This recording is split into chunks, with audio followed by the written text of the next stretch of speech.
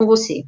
Obrigado, Renata. Uma boa noite a todos. Quero dizer que é uma alegria poder estar aqui com vocês quando celebramos mais um aniversário ainda desse outro bebezinho, o Instituto Vida, ainda é um bebezinho, não é? O Vida, Instituto Espírita Bezerra de Menezes, e traremos então algumas reflexões. Peçamos a Jesus e aos amigos espirituais que nos inspirem e nos iluminem no aprendizado dessa noite. Lembrando que vocês poderão formular perguntas, tá? Dentro do tema, preferencialmente, e ao final a gente vai ter alguns minutos para responder, pelo menos tentar responder as perguntas de vocês, ok? Agradeço então aí a, todos que estão acompanhando, o Jaime, a Kira, Igor, ao nosso, a tia Wanda e ao Marcos que está aí na técnica. Eu vou pedir que ele libere os slides para a gente iniciar a apresentação. Poder deixar a gente pequenininho, deixa a gente pequenininho, deixa só os slides, não deixa só os slides, não, deixa isso, tá? Aí, pelo menos o pessoal consegue ler aqui os lábios, se for necessário. Bom, meus amigos, então o nosso tema é por que os espíritas são contra o aborto e quais exceções à regra. A gente tem outra palestra que é por que os espíritas são contra a legalização do aborto. Aí esse é outra palestra bem diferente. Essa não, é sobre a questão do aborto. E será que tem exceções? Quais seriam essas exceções em que a doutrina espírita admite? E a gente vai analisar o caso muitíssimo recente ainda de uma menina de 10 anos que engravidou, vítima de uma violência sexual. Tá? Então vamos avançar no nosso estudo. Para começar, a gente precisa lembrar né, que, se possível, curta, comente e compartilhe o vídeo. E, e as críticas são sempre muito bem-vindas, mas a gente pede que pelo menos a gentileza de assistir ao vídeo na íntegra antes, tá? Se for uma crítica, deixa para assistir inteiro, aí será muito bem-vindo. Prometo que eu vou ler todas as críticas, tá? E aqui vamos apenas propor algumas reflexões, de modo a oferecer mais argumentos para análise do tema, para melhor ajudarmos a todos os corações, evitarmos sofrimentos e doenças, indicarmos soluções e tratamentos que a doutrina espírita nos oferece, tá? E a gente tem que analisar que nós tivemos pouquíssimo tempo, então nós temos ainda poucas informações. Né? Felizmente, hoje aconteceu uma live muito boa, eu vou até colocar lá, chamada Vidas Roubadas, conduzida pela Ivana Heisk, e tem muitos elementos lá, conversando com Jaime também, que é um especialista em defesa da vida, bem como com o Irapanã Arruda, lá do Instituto Vida, lá de Recife, em Pernambuco, mandar um grande abraço para ele, para toda a equipe. Então, a gente ainda está, claro, podem surgir fatos novos, tá? A gente ainda está pegando as informações, muitas vezes, da imprensa, mas também de informações de pessoas que, inclusive, trabalham lá no hospital onde foi realizado lá em Recife, tá? Onde eu não vou falar a palavra é, que é mais dura para evitar que o, o, o, YouTube ou o Facebook é, coloque, mas é aquela violência contra o bebê, tá? Eu vou falar sempre violência contra o bebê e violência contra a menina, né, a mãezinha, tá bom? Então nós temos aqui, nós vamos falar somente sobre aborto intencional, então a gente não vai falar sobre aborto espontâneo, tá? É completamente diferente a abordagem. Vamos fazer então uma análise desse caso, da menina de 10 anos, do hospital no Espírito Santo, será que, por que, que ele, ele não fez o procedimento? Verificar como é que foi o procedimento do médico, né? Será que foi adequado? É, análise do crime também imputado ao tio, tá?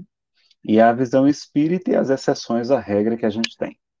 Além disso, ressaltar que está tendo alguns equívocos de confrades espíritas, então a gente tomar cuidado também nessa abordagem, sobretudo porque não esperaram nem chegar as informações para emitir um parecer. Às vezes a gente se apressa, não é?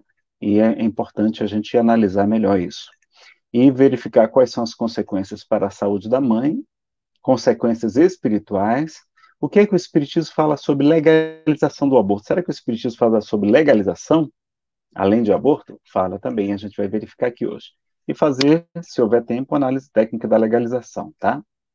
O Jaime falou que a gente ia começar a falar um pouquinho mais cedo, 18h45, Jaime, se você achar que eu posso falar um pouquinho mais, já que a gente vai ter cerca de uma hora de fala, não é? Então, eu, se eu posso me estender um pouquinho. Se não puder, você me avisa, tá? Não, o Nazareno, Nazareno, Sim. É, pode ficar tranquilo, tá? Nós hoje é uma noite especial nessa reflexão. Então, por favor, complete o seu raciocínio então, é, nesse tempo que você preparou. Que bom que a gente está podendo participar dessa noite tão especial, não é? Bom, pessoal, então iniciar dizendo que a doutrina espírita, assim como o Cristo, nos ensina o que? A acolher as pessoas. Em primeiro lugar, acolher. Consolar, a doutrina é conhecida como consolador prometido por Jesus. Esclarecer também, então não só consolar, mas esclarecer, é? nos orientando sobre quais os melhores procedimentos a nós em nossa vida. Mas jamais a condenar nossos irmãos. Nós estamos aqui para condenar ninguém, pelo contrário. estamos vendo várias vítimas aí, é? e a gente vai lembrar da frase inesquecível de Jesus diante da mulher adúltera: Eu também não te condeno. Vai, mas não tornes a pecar. Não é? Então ele esclarece, não condena, mas ele esclarece que ali era um equívoco que ela não tornasse a pecar. E ele também vai nos esclarecer que a gente pode cometer erros, mas que o amor, não é? Porque muito amor, seus pecados foram perdoados, como ele fala para a mulher considerada pecadora na casa de Simão fariseu, e ao mesmo tempo ele tem na primeira epístola de Pedro a fala que Emmanuel confirma que é o ensinamento de Jesus, amigos, amar intensamente, porque a caridade cobre a multidão de pecados. Então, nós temos sim, por conta da nossa ignorância ainda o direito de errar, mas temos o dever de reparar os nossos erros, não é? Temos sobretudo disso, mas o melhor mesmo é não se equivocar. Então, se alguém mais, além de mim, realizou aborto nesta vida ou em vidas passadas, recomendo que assista essa palestra. Uma palestra não é, que a gente recebeu pela inspiração, uma palestra mediúnica muito bonita, chama Auto Perdão, Felicidade Sem Culpa, está no YouTube, nesse canal Espiritismo Chico Xavier Nazareno Feitosa, que é o canal que a gente administra, tá, tá bom? Eu, quando adolescente, eu paguei um aborto nesta vida, além de trazer compromissos de aborto de vidas passadas. Então, por favor, aqui não está ninguém que é melhor do que os outros, pelo contrário, também alguém que se equivocou e que está trabalhando em defesa da vida também para ajudar a se, a se, se coadonar melhor diante das leis de Deus. Então, a gente vai ver alguns argumentos dessa live que aconteceu hoje de manhã, é, Vidas Roubadas, tivemos a doutora Ivênia Prado, o doutor Jorge Darrer, a doutora Valéria Pedrosa, acho que é Pedrosa, acho que é Pedrosa, que é psicóloga, a mediação foi da nossa querida Ivan Reis, que mandou um abraço a todos eles, e acrescentar mais outras reflexões que a gente já tinha e acrescentou. Então, primeiro, analisar o crime. Nós não vamos esgotar o assunto, tá, nessa palestra. É muito lamentável e condenável o que aconteceu, é a questão da violência contra a menina. O estupro de vulneráveis e pedofilia deveriam ser crimes hediondos, inclusive há um projeto de lei nesse sentido, não é? Defendeu o senador que é o espírita que é senador, Eduardo Girão, ele foi inclusive o relator lá no Senado, foi aprovado no Senado, na, na, na comissão que ele se encontrava, mas ainda está tramitando esse projeto, que a pedofilia e o estupro de vulneráveis seja considerado um, um crime hediondo, tá? Né, que não, não, merece indulto, graça, aquela coisa toda. Não, não tem prescrição, né? O problema da gravidez na adolescência, a gente tem essa realidade, que até num vídeo o Eduardo Girão chamou a atenção, e o doutor Jorge Daia também traz mais informações. Primeiro que lá na cidade de São Mateus, lá no Espírito Santo, onde a menina vive, há uma dissertação de mestrado que demonstra que lá, infelizmente, a gravidez na adolescência é comum, e a grande maioria são vítimas de abuso sexual. A grande maioria eu não sei, mas um número expressivo. E, infelizmente, na região norte do nosso país também, bem como na Índia, também tem sido muito comum a gravidez de adolescentes, de meninas mesmo. Para vocês terem uma ideia, no mundo nascem 16 milhões de bebês de mamães adolescentes todos os anos. São 16 milhões todos os anos. Olha que coisa, não é? Destes, um milhão são filhos de mãezinhas menores de 14 anos, quase como a menina, né, que tinha 10, tem 10 anos. Inclusive, no passado também, a Elsa Rossi, uma trabalhadora muito dedicada lá em Londres, do movimento espírita, ela conta que a avó dela teve o primeiro filho com 11 anos de idade, inclusive no meio da, da, da, do sítio, sem, sem nenhum recurso e somente com o apoio da parteira, com 11 anos de idade. Então é muito mais comum e não é de hoje. Isso já é mais, as pessoas inclusive se uniam mais cedo no passado. Né? E no Brasil, olha essa informação que o Eduardo Girão trouxe hoje, de 2011 a 2014, mais de 4 mil crianças nasceram de mãezinhas de até 12 anos. 12 anos. 4 mil em três anos, aí vejam que número expressivo também, segundo o Ministério da Saúde. Então, isso também, essa, esse problema gerou uma comoção nacional, certamente até internacional, e isso vai servir de alerta para a gente verificar que isso tem, é um problema que está tá invisível, a gente não está verificando com, com o devido cuidado, que a gente precisa proteger as nossas crianças, e infelizmente é muito comum que seja dentro da mesma família. Então é um pai, é um padrasto, é um tio, é um irmão, é um primo, é um avô. A grande maioria do, do, da violência sexual são realizadas dentro da própria família, lamentavelmente. Vejam como parece realmente que isso é uma doença do, do, do ser masculino, né? e muitas pessoas têm muita dificuldade nessa área da sexualidade, a gente vai verificar aqui, né? porque acontece com, com parentes, que é uma coisa lamentável. Né? E a legislação no Brasil, ela permite aborto nos casos de risco de morte para a mãe, que é o aborto chamado terapêutico, o estupro, é? então no caso de estupro também permite, e há uma presunção de estupro para a mulher menor de 14 anos, ou é 12 anos, e após o STF legislar, né, que não podia, o STF tornou também legalizou o aborto dos chamados equivocadamente de anencéfalos, que a gente não vai abordar sobre esse assunto aqui. Então, dentro da, da legalidade, foi um ato legal, ou seja, uh, o médico que realizou o procedimento, o juiz que decidiu, eles agiram dentro da legalidade. Não cabe a nós nenhuma crítica do ponto de vista da legalidade, tá certo? A gente tem, inclusive, que respeitar até a condição evolutiva de cada um, claro, esclarecer, mas jamais como algumas pessoas foram para frente do, do hospital para chamar de assassino o médico, não é? E isso é, é lamentável, não é? Felizmente não chamaram a menina, e nem ela tomou conhecimento, pelo que eu sei, não chamaram a menina, nem, nem ninguém mais ninguém de assassino, mas o médico, que também é um grande equívoco, tá? Não, é, não devemos proceder assim. Tá? Então, somos contrários à exposição da menina, ela foi exposta indevidamente nas redes sociais, o nome, o local do hospital.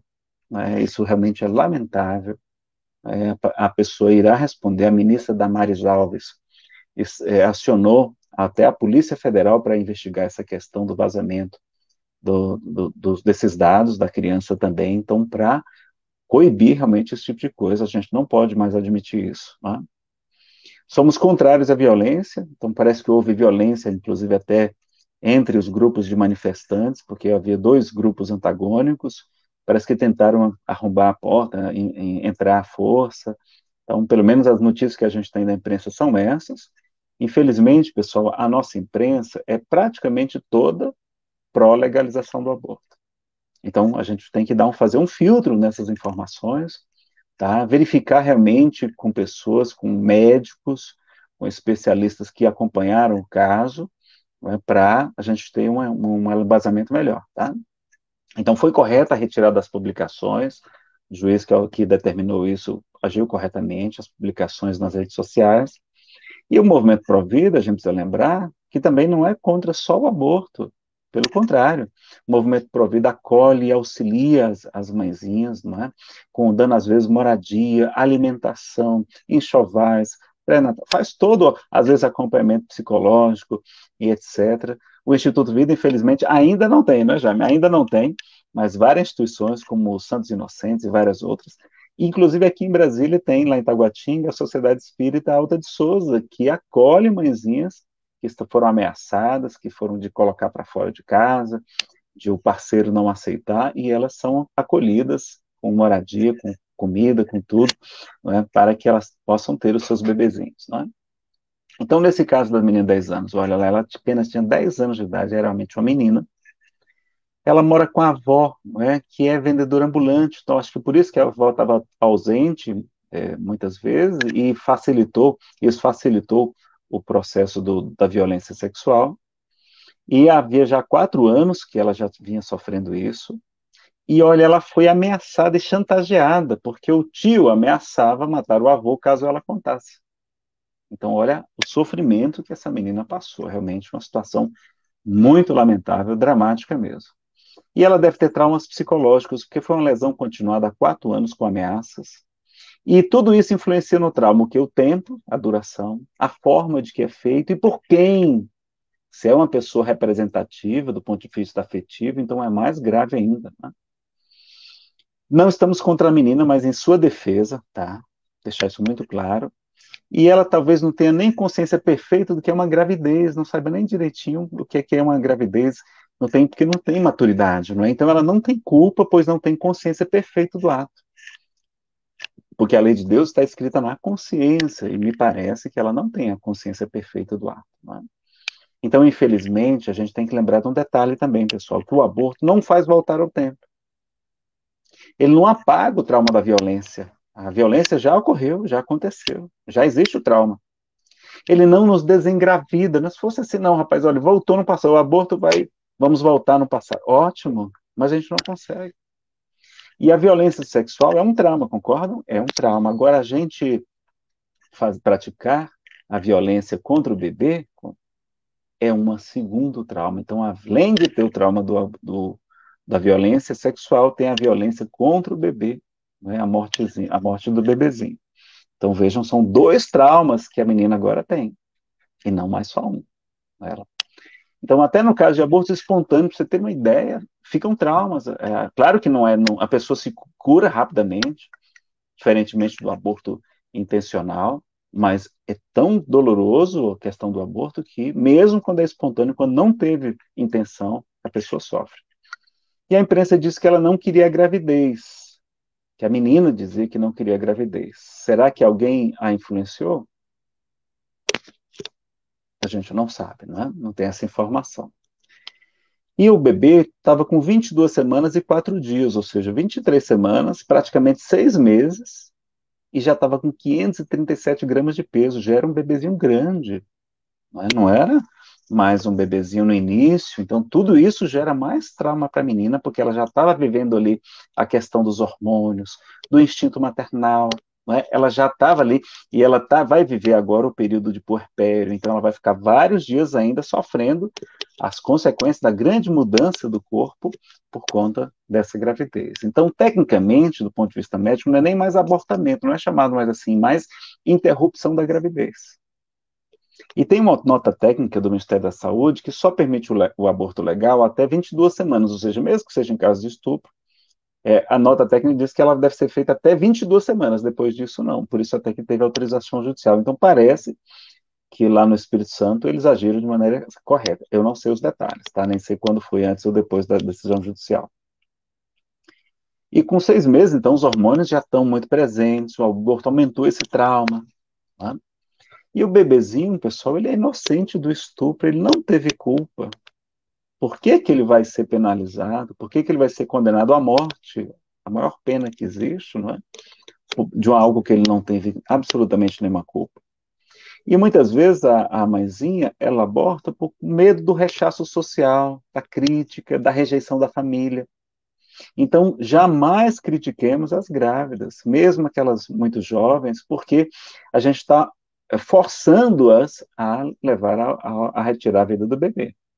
Então, elas, as, normalmente as mulheres são obrigadas, são constrangidas também a, a realizar o aborto, seja pelo parceiro, seja pela família, seja pela condição do nosso mundo, que é extremamente materialista, que é extremamente não é, consumista, que só pensa em ganhar dinheiro, em, em, em, tudo isso é importante, a realização profissional, etc. Mas a gente acaba sendo né, mobilizado por todo esse ambiente, todo esse meio, e os homens também abortam. Então a mulher não aborta sozinha. Quantos homens, então, é que são os verdadeiros responsáveis pelo aborto? A mulher está fragilizada, está com medo, está insegura, né? tudo é uma novidade muito grande, ela se preocupa muito com o seu futuro, tem todo um sonho de criança de como é que seria o seu futuro, vê aquele sonho desabar por água abaixo. Então a gente tem que ter muita misericórdia com todos os nossos irmãos, não é? E lembrar o detalhe, olha uma coisa que eu, muitos espíritas se equivocaram, porque eles confundiram risco de morte com gravidez de risco. Na verdade, pelas informações que a gente tem, o doutor médico, o médico Jorge Daia confirmou isso, é, não havia risco de morte. Era uma gravidez de risco porque ela era extremamente jovem, mas não havia risco de morte. Ela estava, como é comum, é, desenvolver uma diabetes gestacional mais controlável. E não é isso não é um motivo de risco de morte a, a diabetes gestacional. É diferente de uma eclâmpsia, não é? De uma eclâmpsia com convulsão, que aí você tem que fazer algum tipo de procedimento. Qual o procedimento? Não é abortar. O procedimento é você é, antecipar o parto, fazer um parto prematuro, e aí você vai salvar a vida do bebê. Dava para salvar a vida do bebê, ou pelo menos dar a chance a ele, a oportunidade a ele. É ela, parece, já me parece que está confirmado aí, é o, é o, sexo é feminino da bebezinha, não é? Então, ela não tinha hipertensão, não tinha pressão alta, que é o que é o grande risco de morte é, da mortalidade materna, não é o aborto, não. Um grande risco é a hipertensão né? Inclusive minha esposa tem, a gente, ela teve uma pré-eclâmpsia, ficamos com muito medo no, no, durante o parto do Andrezinho. Então, melhor se a criança, né, é melhor deixar ela morrer, porque as chances são baixas de sobrevivência com essa idade gestacional, mas é melhor do que matar, não é? É melhor do que matar. Então vamos lá. Então, com 20, a partir de 1, 21 semanas, já há viabilidade fetal. Ai, desculpa, eu estava digitando esses slides hoje. 21 semanas, tem crianças que nascem já com 21 semanas. Essa estava com 24 praticamente. Se esperasse mais um pouquinho, então, tinha um, um parto prematuro muito seguro. A criança ir para UTI neonatal iria sobreviver com muitas chances, né?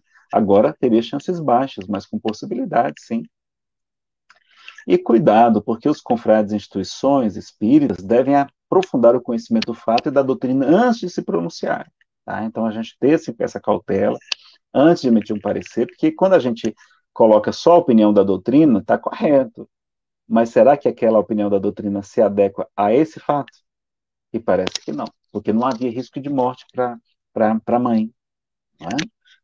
é uma gravidez de, quando é gravidez de risco, tem, tem risco de, de, de riscos para a mãe e para o bebê, mas uma coisa é risco de morte, que é diferente, tá? Até gravidez de gêmeos é gravidez de risco. Né? É uma coisa absolutamente natural. E a gente não vê, e a gente precisa saber disso, eu preciso orientar as pessoas que o Estatuto da Criança e do Adolescente, desde 2017, essa lei 13.059, a mãe não é obrigada a ficar com a criança. É? Então, artigo 19A. Ela não precisa jogar na lata de lixo, não precisa jogar no lago, no meio da lagoa, não precisa matar o bebê. Ela pode o quê? Imediatamente doar a criança, ela não precisa nem ver o bebê, não precisa amamentar. O Estatuto da Criança e Adolescente, nesse mesmo artigo aí, ele preserva o sigilo, é feito completamente em sigilo essa doação. Garante até assistência psicológica para a mãezinha. Não é? Só vai consultar a família se ela for menor de 18 anos, para ver se alguém da família quer ficar com o bebezinho. Não é?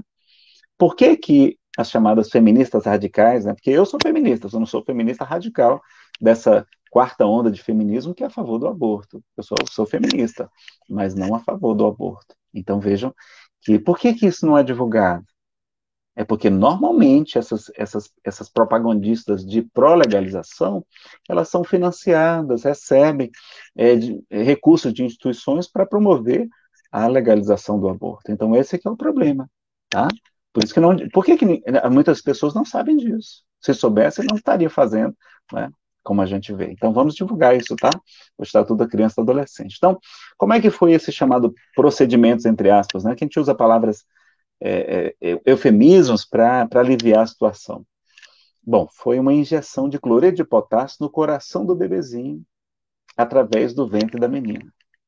Então, não foi um, uma antecipação do parto, foi o que? Foi uma. Matou-se o bebezinho e depois uma medicação para que a, a, a menina expulsasse o bebê. Então, ela sentiu as contrações, não é uma coisa agradável, certamente não foi, foi traumático. Ela não fez uma, uma cesariana e tirou o bebê. Não, não foi isso que aconteceu. Então, matou-se o bebezinho ainda no ventre da menina. E os médicos dizem que esse procedimento teve mais risco para a vida da menina do que um parto.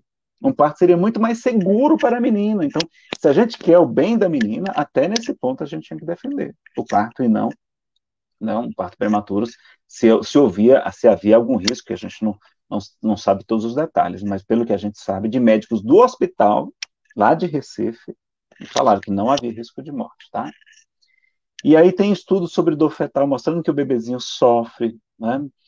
Se, se, discute quando é que é a partir de quando, mas tem estudos de até de 12 semanas o bebezinho já, já, já sofre, né? E tanto que em muitos países estão advogando aplicar anestesia. Alguns estados americanos aplicam anestesia antes de praticar essa violência contra o bebê. Mas só porque vai anestesiar agora podemos fazê-lo? Não, mas, claro que não. Olha lá, então se fosse necessário uma indução ao parto seria correta, não bebê, mataria o bebê antes. E o que, é que a gente deveria ter feito com a bebezinha? É? Ela deveria sido muito bem acolhida, amparada, orientada, esclarecida. Ela devia saber que teria anestesia, que teria todo o apoio, o amparo, que poderia ter sequelas caso realmente fosse realizado o aborto, orientá-la e, e a, sua responsável, não é? Que é a avó, que ela, ela vive desde recém-nascido com a avó, e que ela não precisaria ficar com o bebê, que ela não precisaria ficar com o bebê, não é? E que poderia ter proporcionado uma imensa alegria a um casal que deseja muito ter filhos, como a gente queria que não conseguia, eu e a minha esposa, a gente demorou vários anos tentando, felizmente a gente foi lá para o Instituto Vida, começou a trabalhar no bem, ajudar o Movimento Brasil Sem Aborto, ajudar as crianças órfãs na África, as crianças do Lazinho Chico Xavier. Um mês que a gente entrou no Estudo Vida para ser voluntário lá, com um mês de, de, de voluntariado, olha como, como foi suficiente. Então eu digo para o pessoal, quer, quem vai para o Instituto Vida, engravida. Então, quer engravidar, vai lá para o Instituto Vida, né?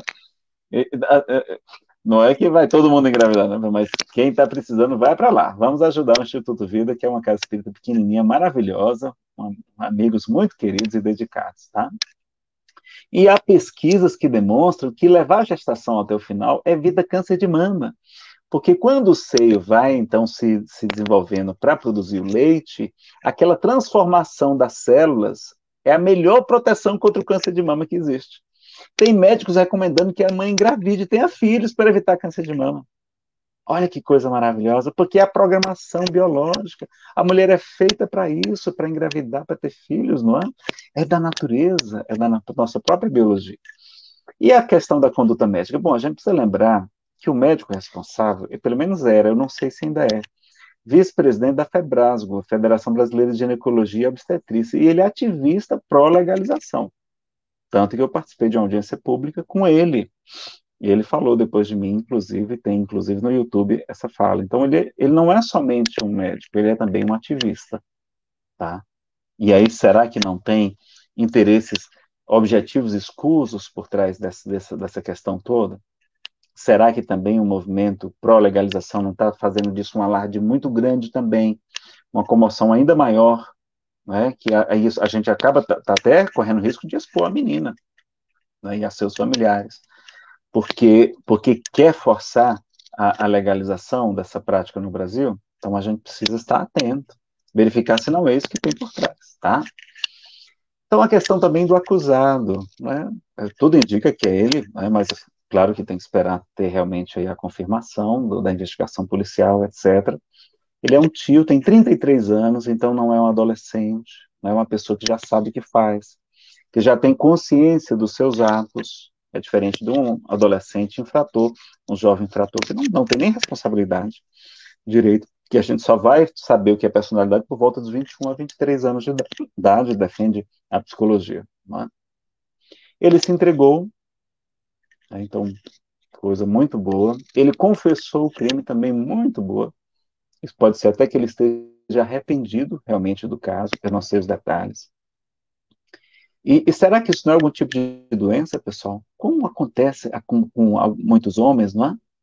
E eu fico impressionado como é que um homem tem desejo sexual violentando alguém. Às vezes pega uma mulher desconhecida na rua com arma, bate, a mulher está sangrando com a faca, num lugar ermo, perigoso, e a pessoa ainda tem desejo sexual de praticar aquilo. Como é? Eu acho que uma pessoa dessa não é normal. Não é? A gente com tudo programadinho, tudo direitinho, às vezes né, ainda dá, dá umas falhadas, né, pessoal? Então, assim, vejam, será que não é uma doença mental? Será que não é realmente um problema grave do psiquismo? Eu acho que essas pessoas têm que ter né, um, uma investigação melhor para saber. Né? E, e ele teve preso sete anos, 2011 a 2018, por tráfico de drogas e posse ilegal de arma de fogo. Então ele era traficante, é traficante, né? só que cumpriu sua pena. Estava em, em, regime de semiaberto, acho o caso dele. E será que ele não seria também um dependente químico, como é comum os traficantes serem? E quantos crimes não ocorrem sob efeito de drogas? Né? Furto, violência familiar, é, acidentes, etc. Inclusive o estupro. E sob o efeito do álcool, que é a droga que mais mata, é o álcool. Então a gente tem que ser muito cauteloso com essa questão, não legalizar as drogas, como está tem um movimento agora, tem inclusive um projeto de lei agora tramitando para legalizar a maconha no Brasil, não vale a pena. Quer saber mais sobre esse assunto? A gente tem uma playlist de vários vídeos só sobre esse assunto, procura no YouTube, no meu canal, tá? De vários especialistas. É, e será que não haveria também uma obsessão espiritual? Será que esses espíritos não queriam os inimigos dele não queriam destruir a sua vida, porque a vida dele foi destruída, pessoal. Ele, tudo bem que ele, ele, ele, ele é culpado, ele é condenável, mas a vida dele foi destruída. Eu não queria estar no lugar dele. Imagine se fosse o nosso filho, esse rapaz. E ele irá responder pelos seus atos, tanto aqui, vai cumprir sua pena, como vai também responder no mundo espiritual, porque a lei divina é perfeita e ele poderá sofrer violência ou morte no presídio, como é comum, é? tanto que ele vai até para um presídio especial, uma ala especial, pelo menos, é? porque é, é, é, comum o estuprador ser violentado nos presídios e ser assassinado lá dentro também. Então, a situação dele realmente é, é uma situação também, do mesmo modo que a gente está contra o ato, que é abominável, então ele tem que ser preso, tem que cumprir, pagar pelos seus equívocos, sim, mas ao mesmo tempo é uma pessoa digna de também de compaixão agora, porque ele vai sofrer, já está sofrendo muito. É? Então a gente precisa lembrar que se a gente, não é, e ao mesmo tempo, felizmente a gravidez foi que denunciou e interrompeu o abuso. A gravidez foi uma coisa ruim. Mas veja que se não tivesse acontecido a gravidez, a menina estaria até hoje sendo violentada. Não é verdade? Então foi uma coisa positiva por esse lado, porque evitou acabou, acabou a confusão, né? acabou o, o, a, a, violência. E a gente lembrar no, no, Evangelho segundo o Espiritismo tem uma mensagem que é muito importante, muito bonita, chamada caridade para com os criminosos. A gente se colocar no lugar deles. Ainda mais com a responsabilidade pelo conhecimento espírita que a gente tem. Então, a gente ter sempre, leiam essa mensagem, está lá no, acho que é Amor ao Próximo como a si mesmo, o capítulo lá do Evangelho segundo o Espiritismo e além da violência que existe nos presídios, né, que a gente já comentou. Então, argumentos científicos. Se você quiser argumentos científicos sobre aborto, procure as palestras da doutora Marlene Nobre, da doutora Ivênia Prada, do doutor Décio Andoli. Tem muitos argumentos maravilhosos aí para falar dos argumentos científicos, tá? Tem até o livro O Clamor da Vida, da doutora Marlene. A AME, Associação Médico Espírita do Brasil, tem duas, duas edições da revista Saúde e Espiritualidade em Favor da Vida. A questão dos anencéfalos também, a gente sabe que não é por acaso que um bebezinho nasce como anencéfalo. Muitos deles não é, é, é, são suicidas, desesperados por alívio e fim dos seus sofrimentos, e por isso pedem para reencarnar e tem aquela oportunidade, e a gente ceifa antes da hora a vida daquele bebezinho. Então, a gente ter, né, gerando sequelas para a mãezinha também, tá?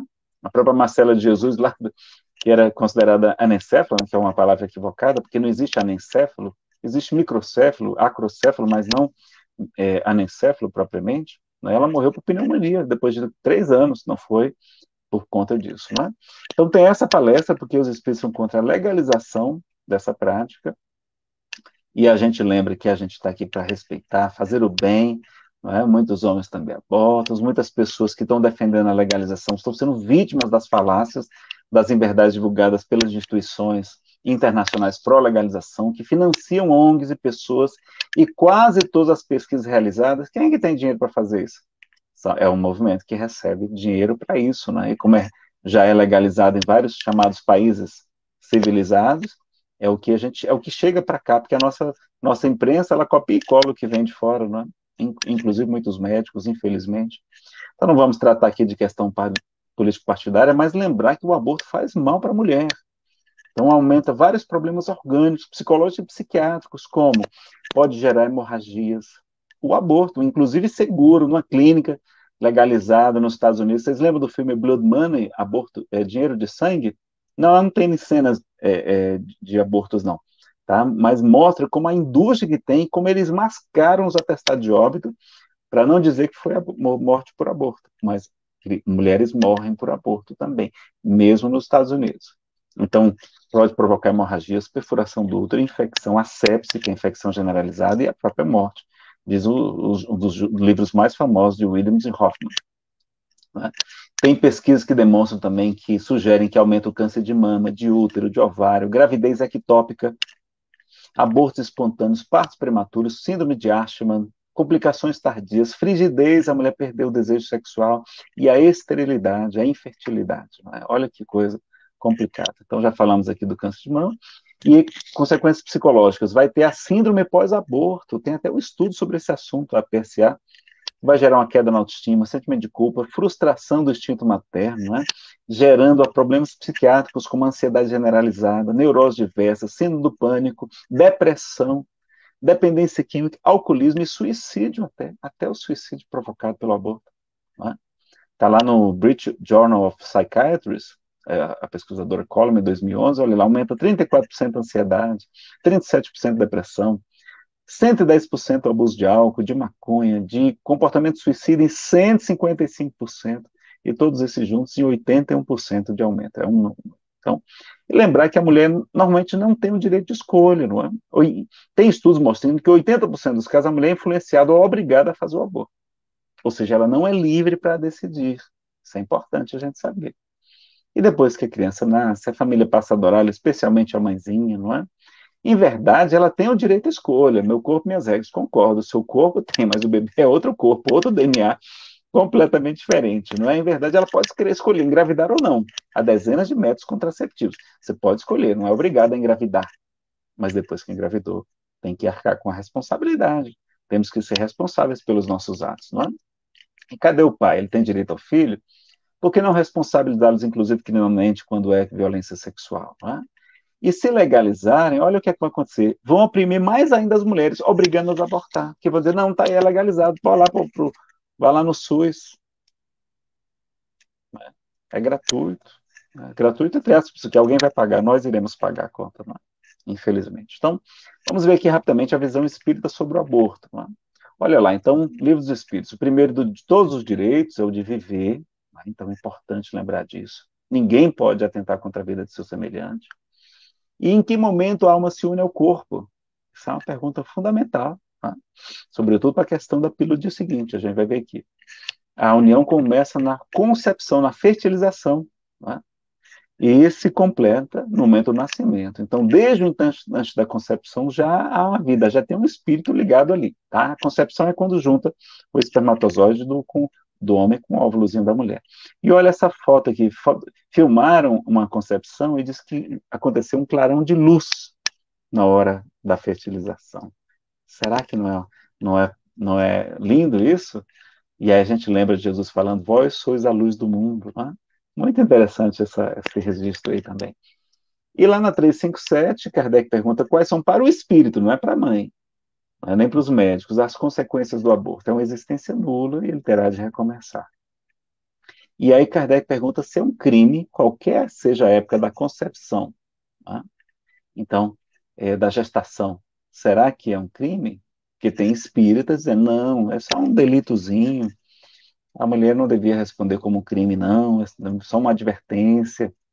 É, pessoal, não é isso que está lá. Olha o que é está escrito lá. Os, os espíritos falam, Kardec pergunta, eles confirmam. Há crime toda vez que transgredis a lei de Deus. Uma mãe ou qualquer outra pessoa cometerá crime sempre que tirar a vida de uma criança antes do nascimento, pois está impedindo a alma de suportar as provas de que serviria de instrumento o corpo que estava se formando. Então vejam como é interessante. Aqui vamos ter uma exceção à questão do aborto. Quando é que tem uma exceção? Bom, 359 de O Livro dos Espíritos. No caso em que o nascimento da criança puser em perigo a vida da mãe dela, haverá crime em sacrificar a criança para salvar a mãe, chamado aborto terapêutico. Resposta: é preferível sacrificar o ser que ainda não existe, que não nasceu, a sacrificar o que já nasceu. Então veja que é diferente. Tá? Agora, isso na época de Kardec, pessoal. Hoje isso está valendo? Tá, essa regra está valendo. Agora, quão raro é precisar matar o bebezinho para salvar a mãe? É muito mais raro hoje, com o avanço da tecnologia, com o TI neonatal, com tantos remédios né, para amadurecer o pulmãozinho do bebê. Tudo é muitíssimo raro isso acontecer. A gente precisar né, sacrificar o bebê para salvar a mãe. Então a gente precisa lembrar disso que essa é uma regra, sim, que vai ser uma exceção da exceção na vida real, hoje em dia, tá? Lembrar disso. E tem outra exceção? Tem.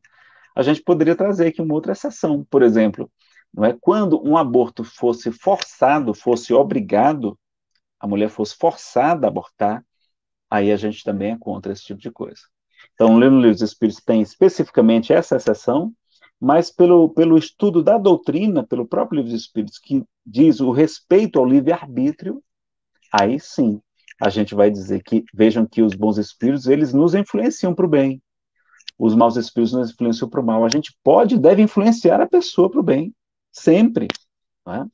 Dizer que respeito ao livre-arbítrio não é lavar as mãos, que nem fez Pilatos, não. Tá? É, é, é assumir, se colocar para ajudar, esclarecer a pessoa, se colocar para colaborar também, para dar um apoio, para evitar essa prática. Agora, não é ser conivente com o erro, com o crime, não. A gente não vai ser conivente com o crime. Essa é a postura realmente de Pilatos. Então, a gente lembrar que também a gente não pode obrigar uma pessoa a praticar isso. Aí sim. E aí, se um aborto, então, forçado, a gente é contra também. Os espíritos, quando você vê a série André Luiz e outras, né? A gente vai ver aquela série A Vida no Mundo Espiritual, os espíritos bons acompanhando lá o aborto, fazendo tudo para amparar a mãezinha, mas se ela quis fazer, a gente vai respeitar a gente vai respeitar. E vamos ajudar, vamos amparar ao bebezinho, aquele espírito, né, que vai estar saindo de lá muito sofrido, e também a mãezinha, tá? Vamos voltar aqui para os nossos slides, então. então. De vez em quando é bom aparecer, que não fica só os slides. Aí eu coloquei o slide errado aqui. Deixa eu share screen, voltar para cá. Então, tem lá na 359 a, a exceção, tá? E a segunda, do entendimento né, doutrinário, a gente pode falar também. E será racional que se dispense ao feto a mesma atenção que se concede ao corpo de uma criança que tivesse vivido? A gente tem que tratar do mesmo jeito. Tanto que eu defendo que espírita não é para falar de chamar de feto, de embrião, não, é chamar de criança, de bebê, porque é assim que Emmanuel chama. Como a gente vai ver aqui, tá? Não vamos mais chamar. Tudo bem que se você for médico e estiver falando para um para uma, uma, uma, plateia de médicos, aí você fala embrião, feto, não sei o quê, mas a palavra correta, se você está falando dentro do movimento espírita, é bebê, porque ele fala que a gente não deve tratar levianamente, que a gente deve respeitar, diz a questão 360. Então, leiam livros espíritos, é muito tranquilo a gente entender sobre esse assunto. E olha o que, que diz aqui, também sobre as consequências espirituais. Olha aqui o aborto provocado, né, que eu vou chamar agora de infanticídio, então de violência para bebê. André Luiz está conversando com o Silas, que é um mentor espiritual muito elevado, sobre o caso de uma moça que está praticando um aborto. E ele pergunta: falta grave? Será melhor dizer doloroso crime? Olha como é que os espíritos chamam, não chama de delitozinho, não. Doloroso crime. Arrancar uma criança ao materno seio é infanticídio, confesso. A mulher que o promove ou que vem a conestar, ou seja, a conivente com semelhante delito, é constrangida por leis irrevogáveis a sofrer alterações deprimentes no centro genésico de sua alma, né, nos, nos chakras, dessa, das chakras básicos, predispõe-se geralmente a dolorosas enfermidades, quais sejam. Aqui são apenas algumas, tá, pessoal? Tem mais nas obras espíritas. A metrite, que é uma inflamação uterina. O vaginismo, que é uma afecção que torna o ato sexual doloroso ou impossibilita. Lembram lá da frigidez? A metralgia são dores no útero, a mulher vai ficar tendo dores depois. O infarto uterino, ou seja, uma necrose pós-isquêmica dos vasos sanguíneos. E até a tumoração cancerosa, o câncer. Os espíritos estão dizendo que o aborto provocado produz câncer. É um aborto intencional. Flagelos esses com os quais muitas vezes desencarna. Então, não só provoca essas enfermidades, mas a mulher pode morrer por conta dessas enfermidades. Muitas vezes, ele está dizendo, não é eventualmente, não. Muitas vezes ela desencarna. Chegando, né, às vezes não imediatamente, ela vai desencarnar com uma certa idade, mas chegando além para responder perante a divina pelo crime praticado. É então que reconhece e rediviva, viva no mundo espiritual. Mas doente e infeliz, porque pela incessante recapitulação mental do ato abominável, é, pelo meio do remorso, reterá por tempo longo a degenerescência das forças genitais. Então tá lá. No livro também, Missionários da Luz, fala sobre a infertilidade. No livro Evolução em Dois Mundos tem um bocado de doença lá com nomes diferentes, que eu nem fui pesquisar ainda, porque é do tempo aqui hoje, mas tem muito mais, tá? Agora, lá no livro Vida e Sexo, fala também da bênção que é receber os filhos em vez de abortá-los. Que a gente programou no mundo espiritual, nós planificamos a formação da família antes do renascimento, antes da gente nascer. Porque existe a escolha das provas, a gente programa a nossa reencarnação. Essa é a regra. Há pequenas, há poucas exceções. É? Então a gente promete para esses espíritos a quem a gente prejudicou socorro e oportunidade, criamos projetos, fazemos sugestões, providências e fazemos votos, ou seja, promessas respeitáveis em salutares, saudáveis compromissos, que terminarão em bênçãos substanciais, bênçãos muito grandes para todo o grupo de corações a que se nos vincula a existência. Mas quando a gente chega na Terra, anestesiamos a consciência, expulsando-os de nossa companhia a pretexto de guardar o próprio conforto e não lhe podemos prever as reações negativas. Então, muitos dos associados de nossos erros de outras épocas, ontem convertidos no, no plano espiritual em amigos potenciais, a gente ia se reconciliar com o inimigo. As custas das nossas promessas de compreensão sem auxílio fazem-se hoje, e isso ocorre basta muitas vezes em todas as comunidades da Terra, não é? Inimigos recalcados, que se nos entranham a vida íntima com tal expressão de desencanto e azedume que a rigor nos infundem mais sofrimento e aflição que estivessem conosco, né? tivesse nascido em plena existência física. Mesmo que viesse na condição de filho difícil, filho problemático, né? levando-nos a ter um pouco mais de trabalho e inquietação. Então, admitamos, seja suficiente breve meditação em torno do aborto religioso para reconhecermos nele um dos grandes fornecedores, um dos grandes produtores de quê? De doenças, de moléstias de etiologia de causa obscura e das obsessões catalogáveis na patologia da mente, ocupando vastos departamentos de hospitais e de prisões, levando a transtornos mentais, né? E há consequências. Então tá lá no Vida Tem muito mais livros para falar desse assunto, tá, pessoal? Então a gente vai esclarecer a causa do sofrimento que a gente tem, como combater a causa. Então vejam essas obras também, Religião dos Espíritos, Ação e Reação, Evolução dos Mundos, e o mais importante, é Missionários da Luz, que vai abordar esse tema mais complexidade. Tem esse libretozinho da FEB, muito interessante, chamado Respeito à Vida, Aborto Não, pode fazer download do site da Federação Espírita Brasileira. E o livro mais completo, mas está faltando nele, é Missionários da Luz, ou é no, no, no, no, no, pequenininho, o que dizem os espíritos sobre o aborto, tá? Esse é o mais completo, vale a pena conferir, tem ele, inclusive, na Amazon, se você preferir ele meio digital, tem ele lá, eu tenho ele em meio digital também, tá? Também tem essa outra revelação aqui do livro Ação e Reação, que eu não vou ler para vocês, porque hoje é, o tempo já está curtinho, mas vai falar de como é que a mulher vai se recuperar do, do E a revelação é muito dura, pessoal, muitíssimo dura, tá? Chequem lá essa obra Ação e Reação. No capítulo 20, é, 20, 15, tá? Então, se a gente está, tá, onde é que será melhor sofrer? Aqui na Terra, com uma criança, que poderá ser nossa alegria, nosso no, no, no, trabalho no bem, resgate, auxílio na velhice, vai nos amparar na velhice. Quantas mulheres ficam sozinhas depois que, que praticam esse ato infeliz? O companheiro a abandona, normalmente se separa, e depois o que acontece? Ela vai se ver sozinha na velhice, não tem ninguém, não tem alegria de viver, não tem alguém, um arrimo de família. Quantos desses filhos são arrimo de família? Né? Então, ou aqui com doenças e obsessões e sofrendo no mundo espiritual ainda na próxima reencarnação. É muito melhor gestar a criança? É muito melhor. É muito nem que seja para doar, nem que seja para doar. Não é? E onde será melhor sofrer? Vejam nessa questão 965, Kardec pergunta se tem alguma coisa de material as penas e gozos, as alegrias da alma depois da morte. As penas também. Olha lá, não podem ser materiais, dilo bom senso, pois a alma não é matéria. Nada tem de carnal essas penas e esses gozos, entretanto, são mil vezes mais vivos, mil vezes mais intensos do que os sofrimentos e as alegrias que experimentais na terra. Porque o espírito, uma vez liberto, é mais impressionável, porque a matéria já não lhe bota sensações. Então, olha que coisa importante. Então, onde é que tem sofrimento? Pessoal, não tem mais sofrimento? É no mundo espiritual, não é aqui.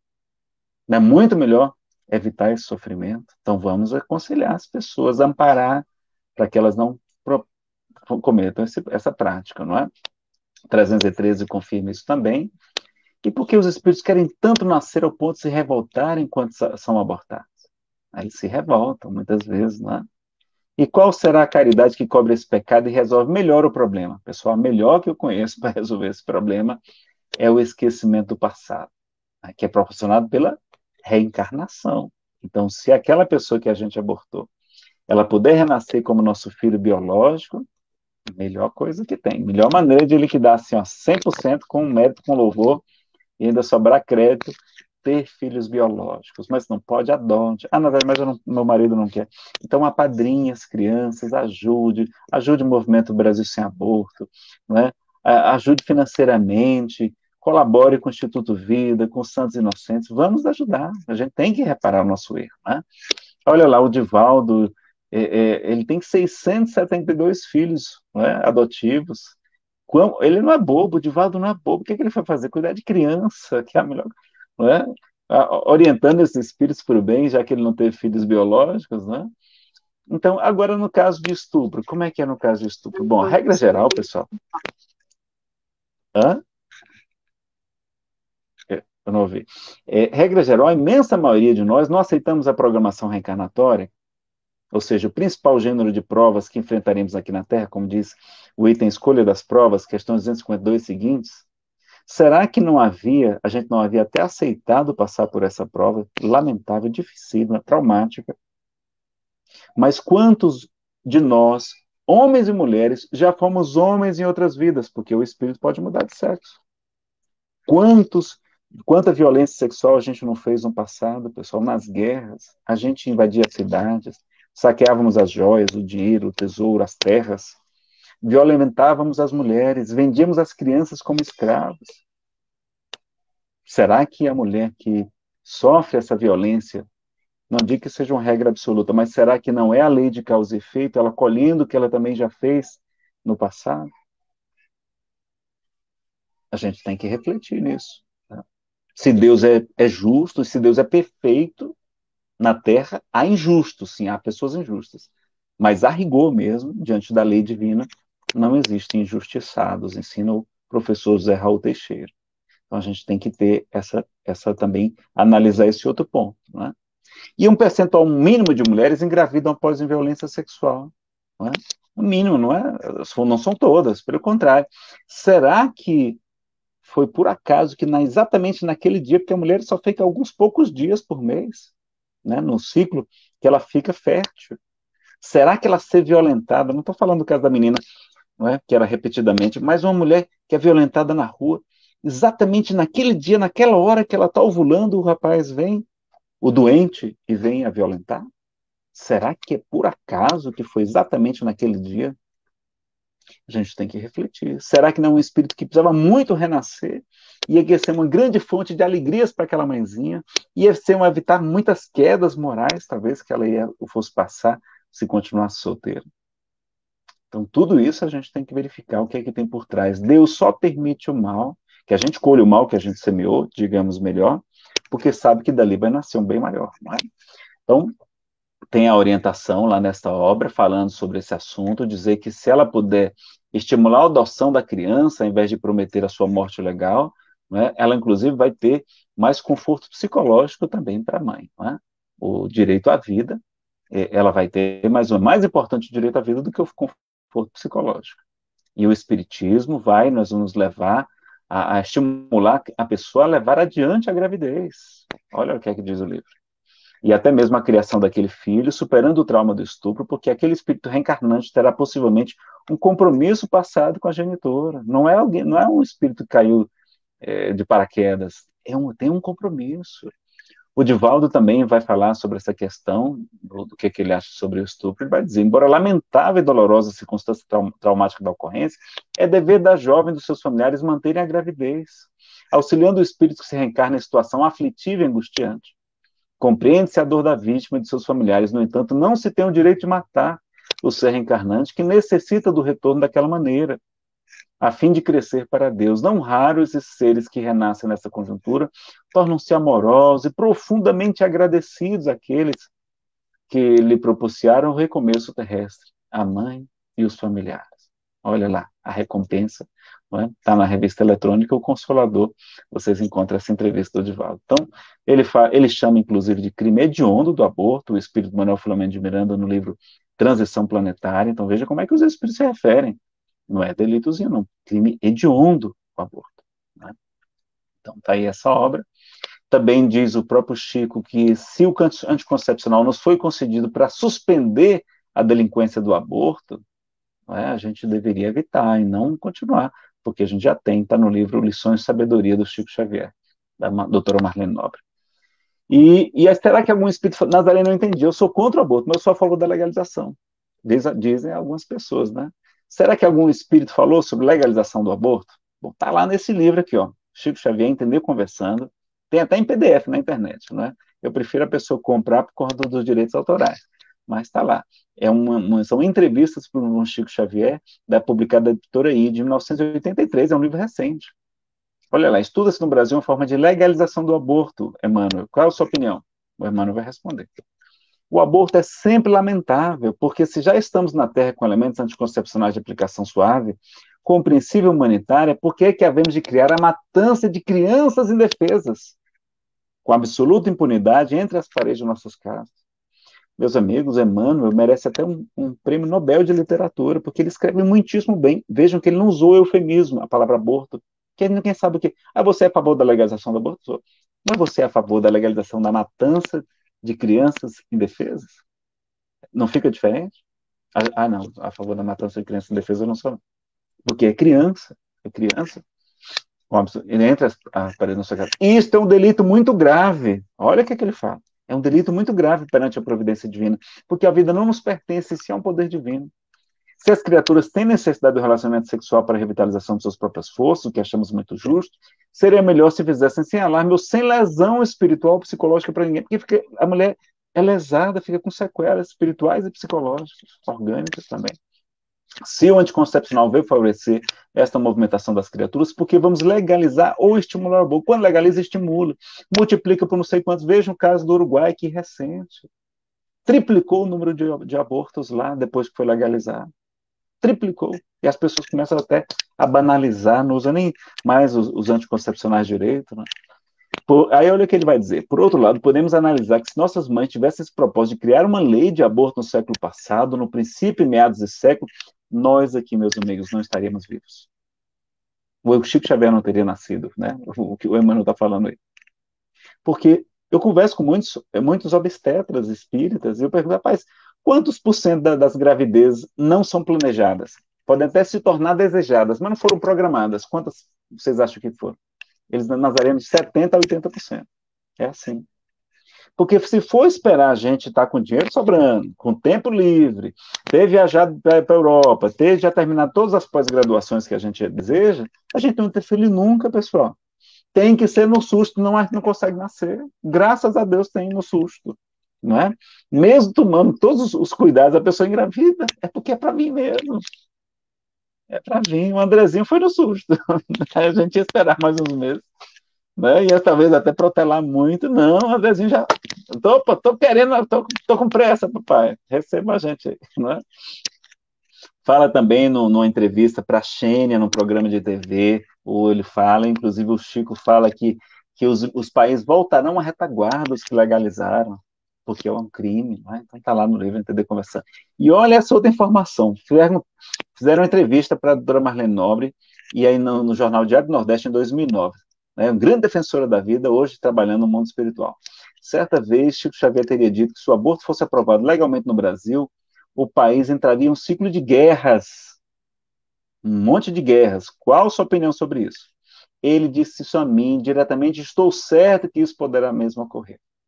Então, Chico Xavier falou para a doutora Marlene Nobre para outras pessoas também, que se o aborto fosse legalizado, a gente entraria em um país que tem a programação de seu coração do mundo para todo evangelho, né? É o país mais espírita do mundo, o país mais católico, onde as igrejas reformadas também crescem a olhos vistos, ia ter um ciclo de guerras. Pessoal, a pior coisa que existe é guerra, é mutilação, é morte, é destruição, é viuvez, é orfandade. Você não tem água para beber potável, não tem remédio, não tem comida, você não tem nem mais cidade, não tem nem mais pátria, não tem nem esperança. É isso que a gente quer para o nosso país? Vamos pensar direitinho, não é? E aí, então, ó, legalizar o aborto é um karma coletivo para todos nós, inclusive a gente que está aí quietinho. Não é só para quem foi a favor da legalização, não. A gente está num país, não tem um karma coletivo do país. Então, a gente tem que lembrar disso, né? Vamos ter essa consciência. Então, o que é respeitar o livre-arbítrio? Que é importante. Então, é não obrigar alguém a fazer ou deixar de fazer algo. Não é ser contra as leis, ser a favor do crime, a omissão e conivência, a postura de Pilatos, essa, não é? Será que nós devemos respeitar o livre-arbítrio dos estupradores, dos criminosos? Olha como é que a gente, né?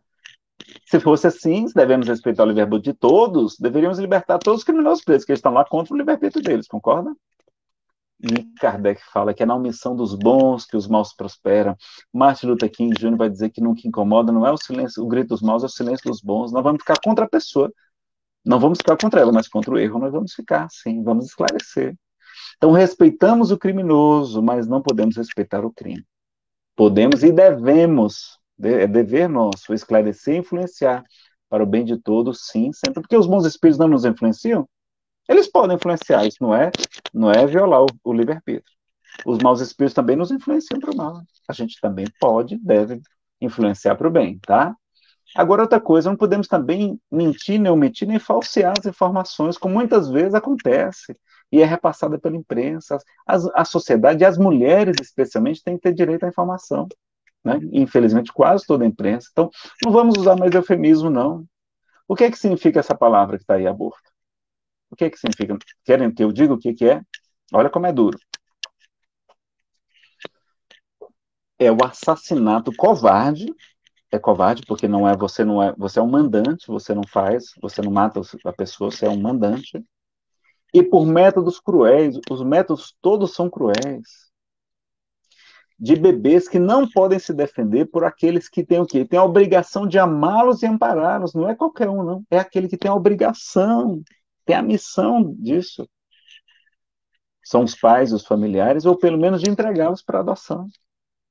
Bem como o dever dos especialistas e preservar-lhes a vida e a saúde conforme juraram, eles juraram na Universidade da Saúde, gerando morte e sofrimento, está lá no juramento de Hipócrates, gerando morte e sofrimento aos bebês e a possibilidade de graves sequelas orgânicas e psíquicas para as mulheres. Isso é aborto, pessoal. É claro que é verdade que são mãezinhas não esclarecidas, vítimas de falácias e falta de informações, vítimas do materialismo, do ateísmo, temerosas, perseguidas, incompreendidas, sem apoio, sem amparo, muitas vezes sob coação, cuja grande maioria não sabe que não são obrigados a ficar com a criança, que não é crime entregar os bebês para adoção, aquela adoção direta que é sigilosa, ampliada pela legislação em 2017, está errado aí, constante no Estatuto da Criança e do Adolescente, e que desconhecem as graves consequências do aborto para a sua saúde física e mental. Quando a gente está contra o aborto, a gente está a favor da mulher, não é só a favor do, benzinho, do bebezinho, não. Aqui tem mais possibilidade de sofrimento é a mulher, não é nem o bebê. É? E o que é melhor? Uma gestação de alguns meses, que passa assim, doar a criança e proporcionar uma imensa alegria ou uma depressão para o resto da vida. Já viu uma vida com depressão, como você nunca mais tem alegria de viver? Pode nos levar, inclusive, para o suicídio. Será que não é melhor levar uma gestação? Então, pessoal, Aqui esses argumentos já vão estar na palestra sobre legalização do aborto, a gente não vai ler agora, mas vai convidar vocês a assistirem, tá? porque os espíritos são contra a legalização do aborto, e a gente termina com a frase de Jesus dizendo, deixai vir a mim as criancinhas, e não as impeçais. Olha como é uma frase que também se adapta a essa questão. Eu vim para que todos, todos, mãe e bebê, todos tenham vida, e a tenham em abundância como está no Evangelho de João 10, 10. E ele fala: reconcilia-te depressa com teu adversário enquanto estás com ele a caminho do tribunal, para que não aconteça que o adversário te entregue ao juiz, o juiz te entregue ao carcereiro e te joguem na cadeia. Em verdade vos digo que de maneira alguma sairás dali enquanto não pagares os últimos centavos. Então vamos liquidar logo essa fatura. Vamos ligar agora para o Instituto Vida, mandar um e-mail, mandar uma mensagem no Facebook do Instituto Vida. Diz, olha, eu quero ser voluntário, eu quero ajudar, eu quero reparar meus equívocos o mais rápido possível, porque a gente não sabe, vai que a gente desencarna amanhã, não é? Vai que a gente desencarna, a gente pode desencarnar, não pode, pode desencarnar. E para concluirmos, lembrar de Maria Dolores, pela psicografia de Chico Xavier, do livro Caridade, Esperança dos Céus. Esperança dos Céus. Olha como é que está o poema. Há choro dentro da noite. É o doloroso. Ah, pessoal, os espíritos amigos pediram só para mostrar um slide. É isso aqui, ó. É só uma mensagem bem rápida, viu? Eu não vou nem ler na íntegra, não. Mas sobre essa questão de reparar os equívocos, olha lá, leiam essa mensagem Remuneração Espiritual, tem na internet, do livro Perante Jesus, de Emmanuel. Ele vai dizer o seguinte, olha, além do salário, é, o trabalho também tem uma remuneração espiritual respectiva. Quais são? Várias virtudes, mas tem uma coisa. Quando o trabalho, no entanto, se transforma em prazer de servir, opa, agora não é trabalho mais como obrigação, não é trabalho no bem, por sentimento de culpa, não. É um prazer de servir. Surge o ponto mais importante da remuneração espiritual. Qual é? Toda vez que a justiça divina nos procura no endereço exato para a execução das sentenças que lavramos contra nós próprios, segundo as leis de causa e efeito, veja que não é Deus que nos castiga. É a gente que se castiga pela, pela, pela sentença que a gente lavrou contra nós próprios. Se nos encontra em serviço ao próximo, manda a divina misericórdia que a execução seja suspensa por tempo indeterminado, a gente ganha moratórias. Gente tem que resgatar um problema grave e os espíritos não. Poxa, ali o Jaime, a Renatinha está trabalhando com tanta alegria de, de, de, servir que eles, ó, vamos dar uma moratória para eles. Né? Aliás, o Jaime está de moratória, não tá, já, tá, eu soube falar que ele está de moratória já. E quando ocorre o momento oportuno, o nosso contato indispensável com os mecanismos da justiça, ter, da justiça terrena, eis que a influência de todos aqueles a quem, porventura, tenhamos prestado algum benefício aparece o nosso auxílio, já que semelhantes companheiros se convertem em advogados naturais de nossa causa, amenizando as penalidades em que estejamos em cursos ou suprimindo-as de todo, todo o nosso karma, toda a nossa programação de sofrimento. Se já tivermos resgatado em amor aquilo que devíamos em provação ou sofrimento, para retificação e tranquilidade em nós mesmos. Reflitamos nisso e concluamos que trabalhar no bem e servir em qualquer parte ser-nos-ão sempre apoio constante e promoção à vida melhor. Não é bonito isso? Então dá para olhar caridade que cobre a multidão de pecados é aquela com, quando a gente trabalha com prazer de servir, melhor ainda. Então, para a gente concluir agradecendo a presença de todos e partindo daqui a pouquinho para as perguntas, esperança dos céus há choro dentro da noite. É o doloroso gemido de pobre recém-nascido que não encontra lugar. Mãos insensíveis sufocam pequenina flor humana. É o aborto em lide insana, ferindo a lei sem pensar. Ah, quantas almas formosas nos planos em que me movo, né, no plano espiritual, sonhando nascer de novo, no entanto, rogam em vão agasalham-se no amor, mas em lágrimas convulsas, ei-las batidas e expulsas a golpes de ingratidão. Irmãos da terra, escutem, detende a marcha do aborto, estendei o vosso conforto aos companheiros do além. Cada criança que surge, mesmo entre rudes labéus, que são desonras, vergonhas infâmias, como foi o caso, cada criança que surge, mesmo entre rudes labéus, é uma esperança dos céus para a vitória do bem. Então fica o convite de Maria Dolores, do livro Caridade, de Francisco Cândido Xavier. Que o nosso muito obrigado aos agradecimentos a vocês. Aí está o nosso canal no YouTube, é Espiritismo Chico Xavier, eu mudei o nome, mas eu, deixei lá Nazareno Feitosa para vocês localizarem. Lá vocês encontram a palestra Legalização do Aborto, né? É porque os espíritos são contra a legalização do aborto. Dá uma conferida lá, está bem completa, bem interessante, você ter argumentos para defender a vida, porque tem muito espírita se declarando a favor da legalização do aborto, que é um absurdo, tá? Dê uma conferida nisso aí. Tá aí o nosso e-mail, e tem uma loja virtual também, onde vocês podem adquirir nossas palestras, em CD, DVD, pendrive ou para download, e toda a renda revertida para o GVIM, Chico Xavier, vinculado à Comunhão Espírita de Brasília, um grupo de trabalho voluntário, de beneficente lá, tá? Devolvemos aí a palavra aos nossos coordenadores, nosso querido Jaime ou Renata, não sei quem vai coordenar. Obrigado, pessoal, pela. Amigo Nazareno, excelente palestra, muito, muito esclarecedora. Nós temos aqui vários comentários, vou ler rapidamente alguns comentários. É, a Kátia Machado, bastante esclarecedor, grata. Margarete Fátima Oliveira Rocha, obrigada a vocês. Alessandra Oliveira Oliveira, maravilhoso estudo, muito obrigada. A Vandete Rabelo do Prado, parabéns para o palestrante, abençoado neste momento. Ela também fala que Deus nos ampare e proteja contra o aborto. Tem a Tatiana Oliveira, no início da semana fiquei perplexa em ver espíritas se colocando a favor do procedimento que foi feito, lamentável. Certamente, se esses espíritas tivessem visto essa palestra no Nazareno, não se colocaria dessa forma, né? A mesma Tatiane fala, quantas informações importantes, muito obrigada. Marlene Medeiros, obrigada pelo seu esclarecimento. Margarete Fátima de Oliveira Rocha, um dia ainda aprenderemos a transformar o mal em um bem, renovando as energias que movem nossa encarnação.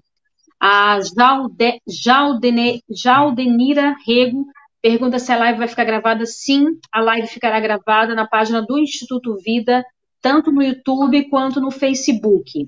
A Marlene Medeiro, pelo que eu vi da imprensa, ela corria risco. E aí o Nazareno muito bem nos explicou que várias informações foram repassadas é, contraditórias para a imprensa, e aí talvez eu nem, nem culpo a imprensa, mas sim as próprias fontes, né, que também que passaram essas informações. É, não há um consenso, o Jaime valia nossa nota aí, não há um consenso de que ela de fato corria o risco de morrer em consequência é, da gravidez. É, era uma gravidez de risco, sabe né? que fez algumas mas perguntas, mas que já não de morte, realmente, o, o, um, um médico que acompanhou lá, ele falou que não havia risco de morte. Era uma gravidez de risco, mas isso é diferente de risco de morte. Perfeito, perfeito. A Suelma Gonçalves, por mais que queira justificar a legalização tanto das drogas como do aborto, sabemos que o número de ocorrências só aumenta quando legalizadas essas práticas infelizes, o Nazareno também falou sobre isso, citou a situação do, do Uruguai, né? Aí a Jane Chantre pergunta: o senhor fala que o médico que fez o aborto é um ativista. O que é um ativista? Essa é a pergunta dela. É, no caso, um grande abraço para a Jane, uma grande defensora da vida, não é? Amiga querida, ela e João lá no Rio de Janeiro. Obrigado, Janinha, pelo seu comentário, está acompanhando aí a live. É, ativista no sentido de ser pró-legalização, é? de estar, tá, inclusive, participando de audiências públicas sobre essa temática, não é? Então, pelo menos assim, ele participou de um e foi a favor da legalização na audiência pública que eu tive presente, inclusive, ele até se referiu à minha fala, que falei antes dele, é? e está lá no, no canal no YouTube também, na, na TV Senado, tá? Pode conferir. Aí eu não sei se isso também refletiu no seu procedimento, no, no seu proceder, tá? Aqui a sua Alma Gonçalves, Instituto Vida é Vida em todos os âmbitos. É, Alessandra, eu como mãe adotiva sei da importância desse ato de adoção do bebê. A Fernanda Oliveira, acho que estamos pedindo demais para uma criança de 10 anos que sofreu abuso da própria vida. É, a gente respeita, né? A gente é... respeita essa opinião, mas Sim, a gente, com certeza. Mas é melhor para criança. Com certeza. É melhor para A Jaldenira Rego diz que é Sim, para todos, né? A Jaldenira Rego disse que ela pensou que tivesse sido feita uma cesárea. Não. Não foi, né? Uma injeção de cloreto de potássio no coraçãozinho do bebê, oferecendo graves riscos para a mãe, inclusive. E a, a, o bebezinho foi expulso no, no dia seguinte. Ela deve ter tomado a medicação também para isso, talvez. Cornélio Monteiro. Para estimular as contrações. Cornélio Monteiro, muito boa palestra. Jaldinira Rego, gratidão, amigo Nazareno. É... Deixa eu ver o que mais tem aqui. A gente tem uma pergunta aqui, a Fernanda Oliveira, e a saúde psicológica da criança? Como pois é, fica? é, é exatamente para preservar a saúde psicológica da criança que é melhor não gerar mais um trauma para ela. Porque sempre gera um trauma, mais cedo ou mais tarde. É muito comum, inclusive, que mesmo que na hora a mulher não sinta, por conta da sua convicção política, etc., quando chega na menor pausa, vem aquela, aquele sentimento de culpa que é muito forte, e a gente lembra também que a própria culpa no livro Pensamento e Vida e também no livro O Consolador, é, ambos de Emmanuel, falam que uma culpa pode gerar graves enfermidades. Então, consequências orgânicas e no perispírito também. Então, é preferível a gente evitar esse trauma. E ela poderia ter doado a criança, ela não precisaria ficar com a criança, não é? E não precisaria nem levar a gestação até os, as 40 semanas, poderia fazer uma antecipação terapêutica é, do, do, do parto, tá? Sim. Ângela Maria Pinto e Silva, gratidão a todos que nos possibilitaram essa edificante live. A Odília Azevedo, tem muito material, mas muitos espíritas não leem, infelizmente, seguem no achismo. João Menezes, o motivo para o aborto foi apenas o estupro, nenhum médico negou que a menina corria risco de morte. A Odília também é, continua aqui. Gravidez de risco implica em consequência na saúde. Não se trata de risco de morte. E ela complementa: Muito obrigado, Instituto Vida, pela oportunidade dada a todos nós de uma reflexão em torno de, do tema. E, por fim, Alessandra Oliveira Oliveira, acredito que esses fatos que se tomam essa dimensão são para esclarecimentos e mudanças de opinião. Espero que seja a favor da vida. É isso, Nazareno. Mais uma vez, em nome do Instituto Vida, a gente agradece imensamente o seu trabalho de estudo, o seu trabalho de pesquisa. A gente sabe que você já, já fala sobre o tema há muito tempo, mas certamente teve que estudar, porque os assuntos é um assunto muito novo, né? E como você disse, muitas vezes a, a, as informações que, que vieram da imprensa vieram informações desencontradas, então a gente percebe que você foi a fundo para nos trazer essas informações e esses esclarecimentos. Então, mais uma vez, meu irmão, gratidão, que Jesus continuando, continue iluminando a sua vida, Muita paz para você, saúde para toda a sua família. Obrigado, Muito obrigada, viu? Foi uma alegria poder estar aqui com vocês. E é provável que a gente vá atualizar essa palestra com mais informações à medida que estiverem disponíveis de fontes seguras, né? De fontes seguras e que não sejam, infelizmente, quando a gente tem aí é, veículos de mídia que passam informação às vezes enviesada, tá? Então, só a gente ter essa cautela, mas agradeço e espero que todos que assistiram sejam propagadores da defesa da vida, se puderem, não por mim, mas pela defesa da vida de todos os inocentes que não estão tendo a oportunidade de falar. Nós somos aqueles que seremos a voz dos bebezinhos, como a gente tem lá naquele filme O Grito Silencioso, que eles não podem sequer gritar para chamar a atenção, para defender a sua vida. Que a gente possa aproveitar esse instante, essa, essa ocasião, para defender a vida das duas vidas, defender as duas vidas. Tá bom? Grande abraço, querida, para todos vocês. Com certeza. Obrigada. Peço que você permaneça conosco. Agora, o nosso o presidente do Instituto é, Vida, Jaime Ferreira Lopes, vai ler uma carta que foi elaborada pelo próprio Instituto sobre esse caso que nos consternou a todos nós e que nos colocou, como foi dito aqui, nesse amplo debate, um debate importante que envolve aí vários aspectos. Jaime. Então, pessoal, vamos lá.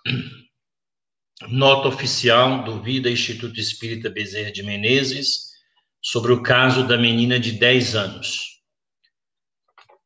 Diante de tantas repercussões e do amplo debate na sociedade sobre a gestação e a interrupção da gravidez da criança de 10 anos, que durante quatro anos foi brutalmente violentada pelo tio e, ao que tudo indica, por outros parentes também, o Instituto Vida, que luta pela vida desde a concepção até a morte natural, sente-se na obrigação de prestar esclarecimentos sobre o posicionamento da instituição. Primeiro, nossa total solidariedade à criança que passou pelo doloroso trauma do abuso sexual. É inadmissível que as crianças que deveriam ser protegidas e amadas ainda passem por essa violência tão frequente no nosso Brasil. Sociedade e governo precisam se unir para evitar essa atrocidade. Segundo, a criança, sem dúvida, é uma das vítimas dessa dolorosa história e merece ser amparada e receber tratamento psicológico para amenizar os traumas sofridos. Terceiro, a doutrina espírita nos esclarece que a única condição aceita para o aborto é o risco de morte da gestante. É possível afirmar, com laudos de, de equipes médicas, que esse era realmente o quadro clínico da criança? Houve um consenso sobre esse risco? Quarto, o aborto não ameniza nem tira a dor pela qual essa criança passou. Pelo contrário, existem vários estudos que revelam as consequências físicas e psicológicas que o aborto causa a quem o pratica. Quinto, destacamos ainda que o procedimento que ocorreu foi um parto prematuro, antecedido da morte cruel do feto em uma gestação com dados clínicos que viabilizaria a vida extrauterina ou extraútero. Sexto, entendemos que menos doloroso e menos traumático para essa criança seria ser amplamente assistida durante a gestação, com todo o amor e suporte de profissionais e entidades que entendem do assunto, e após o nascimento, se essa fosse a opção, oferecer o bebê para adoção. Sétimo, o olhar espírita não nos permite uma visão unilateral sem avaliar a situação do reencarnante e suas necessidades. Trata-se de um espírito e um corpo frágil, sem nenhuma capacidade de defesa. Oitavo, precisamos compreender que existem vários interesses, inclusive financeiros, e uma indústria muito bem organizada que luta para liberar o aborto no nosso país. Nono e último, ainda amparados pelos, ensinamentos do Mestre e da nossa doutrina de amor, lembremos que todos os envolvidos, absolutamente todos, necessitam das nossas preces e do nosso envolvimento amoroso. A revolta em nada nos ajuda ou ajuda esses seres envolvidos nessa trama dolorosa.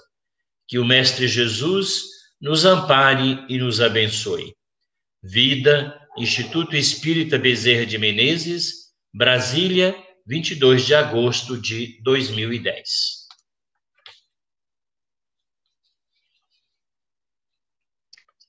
Muito bem.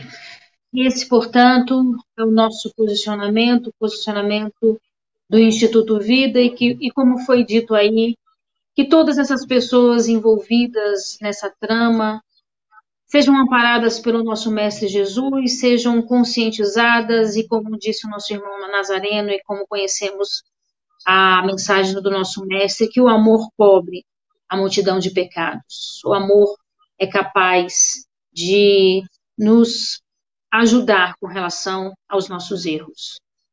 E nessas vibrações de amor, de paz, nós convidamos o nosso irmão Igor para fazer a nossa prece final.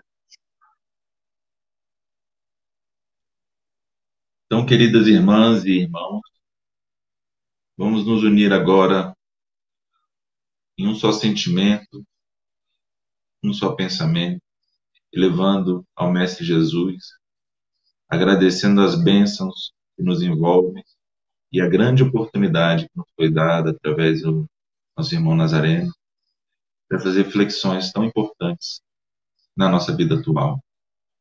Sabemos que a espiritualidade muito mais avançada que nós, com o fechamento, o impedimento dos centros espíritas, ela está atuando na casa de cada um. Então, que possamos sentir a presença, cada um agora em seus lares, dos nossos benfeitores, dos espíritos em sofrimento que também nos acompanham e que agora certamente estão bem melhores do que antes. E vamos emitir as nossas melhores vibrações, as vibrações desse trabalho de hoje, para os espíritos que foram abortados, para os espíritos que cometeram suicídio e se encontram em estado de sofrimento e dor, para que recebendo essas vibrações eles possam enxergar no horizonte o infinito, a existência infinita e a esperança eterna, no amor do nosso Mestre, no amor do nosso Pai misericordioso, que sempre nos dará a oportunidade de recomeçar. Que a paz do Mestre Jesus envolva o coração de cada um, encarnados e desencarnados nesse momento. Que assim seja. Que assim seja, meus irmãos, uma ótima semana a todos, com muita paz, muita confiança e que Jesus esteja sempre vivo e presente em nossos corações. Muito obrigada pela participação de vocês. Sábado que vem tem palestra do Jaime, encerrando aí o aniversário. Na verdade, isso aí. não vai ser, na verdade, não vai ser. Está me ouvindo? Estão me ouvindo? Estamos. Na verdade, não vai ser uma palestra. Sim. A gente vai fazer uma espécie de painel, não é bem um debate, mas alguns depoimentos com a presença do nosso irmão Iraponã, lá de Recife, com a presença da nossa irmã Sandra Bittencourt, coordenadora da rede Renascer, e com a presença de Fátima Sato, lá do Paraná. Então, a gente vai fazer aí um bate-papo, uma conversa, para encerrando assim as comemorações do, do nono aniversário do nosso querido Instituto Vida. Boa noite a todos. Maravilha. Vamos, não percam, pessoal. Obrigado, Natália. Muito, vem, muita então. paz para vocês. Obrigado a todos vocês. Fiquem com Deus. Muita paz.